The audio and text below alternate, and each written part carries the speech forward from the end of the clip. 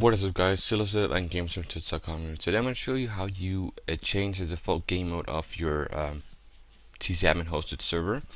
So first off, you just want to go to the Garry's Mod Workshop and simply subscribe to the add-ons you like. In this case, I subscribed to um, the Prop Hunt uh, game mode as well as a Prop Hunt map.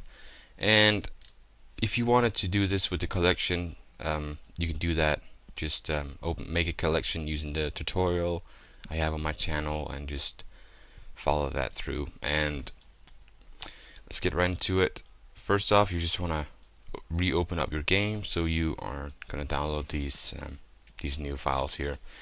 And then you just want to download uh, and um, extract the GMAD extractor. Just open up that. Click on the open and that's going to take you to your Garry's Mod add-ons folder. Just select the prop hunt here. Sorry about that. And just click on select.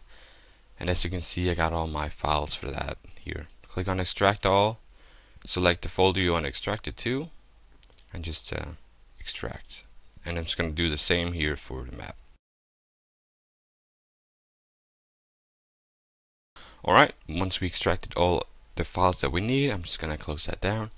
And as you can see I got my game modes maps and sounds folder and the game modes contain Fretta and Prop Hunt. So once we are finished with extracting all we need, I'm just going to close that one down. You can open up FileZilla and simply go to your control panel as well. Click on the game services and here you find your IP address.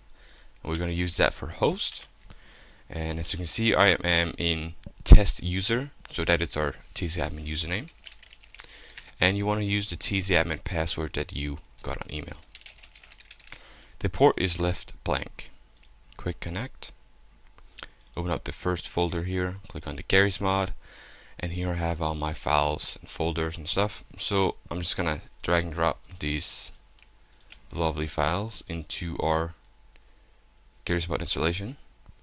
Since I already have it, I'm just gonna click the skip, uh, but of course you wouldn't do that. Alright, once they are uploaded, we just uh, close that down. Now it's time to go to Command Line Manager. As you can see, the default one is chosen right now, so when I go to Custom Command Lines, click on New. And in this case, I'm just going to give it a description of prop hunt. We want to tick the server config, the startup map, and the default game mode. startup map is set to PH Office, and that's just fine. I'm going to change the default game mode to prop hunt. Just click on save. Um, before we say, I'm just going to tell you that if you were to change it to dark RP, you would just simply put in dark RP here instead.